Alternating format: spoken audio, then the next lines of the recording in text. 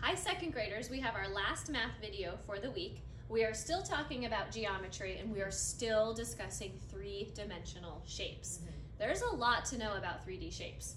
So today we are going to talk about 3D shapes and we are going to have to use our imagination a little bit. Mrs. Grant, have you ever put a puzzle together? Yeah. Okay. Well, a puzzle comes in all different pieces, right? Yes. Today we're going to do something and we're going to pretend we're taking a puzzle apart. Our puzzle, though, is going to be our 3D shape, and we're going to pretend that we completely take it apart into different pieces. You know what this reminds me of? What? At the beginning of the year, we gave the kids a dice that they could put together on their own if they didn't Mhm. have one at home. Yep. And they had to fold it, Uh-huh. and they had to put it all together. Uh-huh. That dice, that cutout, is called a net. A net. A net, not I- like a can I fishing net. catch butterflies or fish in it? No, you can't. A net just means the um, arrangement of a shape that when you fold it up, it becomes that 3D object. So if it's laid out flat, it's the net. It's called a net. okay. Now, these are really similar to nets. The only difference is that you can't fold this all up, it Mhm. won't turn into anything. It's as if you took an object and you traced all the sides, Mm-hmm. and this is what you would get on paper. Okay. So, if we take a look at the first one, we have a rectangular prism. Now, we've talked a lot about the rectangular prism already, and we know it's one because there are rectangles that go around the sides or the faces of that object. Now, a rectangular prism has four rectangles, Uh-huh. and then it also has two square faces as well. Okay. And what we need to try and do on this worksheet is decide does this set of shapes or this set of shapes represent the shape over here if we were to have traced every single face? Oh my gosh. Th- I already have a big clue, Miss Okay, Farquhar. what's your clue? First of all, this one has two circles, and there are Yeah. no circular sides on a rectangular prism, so there's no way it can be this one. There is not. You are correct. In fact, do you know what this shape would be? I'm trying to think of a shape.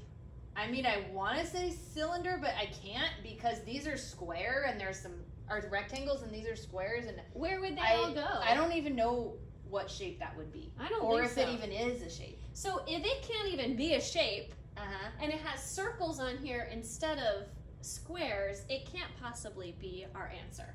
So I'm actually going to put a big X Okay. over this shape. If we take a closer look at this, which is our answer, we can see the four rectangles that this shape makes up, even if we were to open it up or trace the sides. And then we have the two faces on the edges over here as well, the left and the right. So we're going to circle this set of shapes because Okay. it represents like if we were to have a puzzle. Okay. Now, This one looks easy. skip. I'm Let's gonna- skip that okay, one. You don't get to skip it. You have, have to, to do, do this one. But there's something on here that's a pretty good clue. Uh huh. However, this one's a little bit trickier. It is. We have another rectangular prism. And if you look in your pantry, you're going to notice cereal boxes and maybe we talked about spaghetti boxes and a box of brownies. All those boxes look a little bit different, but they're all rectangular prisms. So even though this rectangular prism looks a little different than this one, Mhm. it's the same shape. What I'm noticing is that there is a long, skinny rectangle, and then another long, skinny rectangle, and another one, and then some maybe a little bit of a smaller rectangle. But they're all rectangles. Mhm.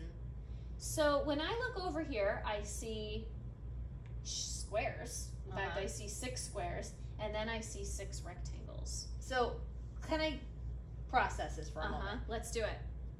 Both a cube and a rectangular prism have six sides. Six faces. Six faces. I'm sorry, six faces. Yep. Six faces, but only one of them has all six faces that are squares, Mhm. and the other one, some of the faces are rectangles. They can be rectangles. Yeah. So. So- if this one is a rectangular prism, The word rectangle is in the name, it is. so some of those sides should probably be rectangles, Yeah. Not squares. Not all of them squares, We right? have to have at least a couple rectangles for it to be a rectangular prism. and there's so- no rectangles in this one at all. Nope. It's all squares. So let's put an X on the one that doesn't belong, and then we will circle the one that is correct. all right. They're going to do the same thing on this problem, Okay. but I see words. Word problems frighten me. I'm Word problem. overwhelmed. I need you to walk me through this. all right, let's take a I'm gonna let's take a little this. peek. All right. Okay. We can't get upset when there's a word problem. Okay. I'll take a deep breath. All right. Good. Word problems are not a big deal. We just have to really use our minds to think about the problem. It says Kevin keeps his marbles in a container. I have marbles. Me too. The container that is the shape of a cube. Think about it. I have a cube. Okay, so think about a container that's the shape of a cube. Got it. He keeps his marbles in it. Okay. Okay. He wants to paint each face a different color. The faces of the marbles? Not the marbles. What? Marbles are spheres and they don't even have faces. Oh. He's talking about the cube. He wants to paint each of those faces on the cube a different color. Gotcha. All right. How many different paint colors does he need? So basically, we need to know how many faces are on a cube. Yeah, because if you know how many faces are on a cube, you'll know how many different paint colors he wants to use. So we need to count all of the flat surfaces. Exactly. And if you don't have a cube at home, you could use your handy dandy worksheet. How many faces does it tell us there are?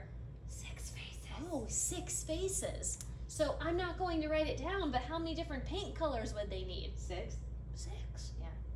Hey, that wasn't so bad No, it wasn't. if you watched the video. Why don't you turn this bad boy over and let's see what's on the other side? Let's see what we're gonna make the kids do. Well, All right. more words. Doable. Not bad though, because this is just like what we did on the other side. Mm-hmm. It says Marcus traced around the faces of a three dimensional shape. Circle the name of the shape he used. All right, let's look at our options. We've got a cylinder, a cube, a sphere, and a cone. Hmm. When I think of these shapes, I know that some of these shapes have curved surfaces. Mm-hmm. Okay, I don't see any curves over here. Mm-mm. So I don't either. If it has a curved surface, you can probably cross it off, huh? Yeah, which is really interesting because they all have a curved surface except for the answer. Ooh. And you know, if I were to keep my marbles, Inside of the In a- shape that this creates. yeah, with six square faces, I'd probably find my answer over here. I think that was a lot of clues that should help you guys out. I know they can do that with our help. Mm. All right, let's take a look at number six though. Okay. This does get a little bit more technical.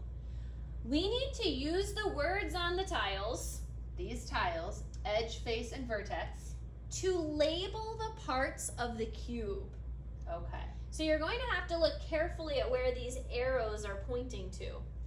The first arrow is pointing to this like flat space in the middle of the shape. Uh huh. Trying not to use the answer. Okay. So the flat. The I want to say the word, but I'm not going to. That flat part, Uh huh. The flat surface. It doesn't say surface. the flat. The flat surface. surface is also known as one of these words. Yep. Okay. Give me a hint on this one. All right.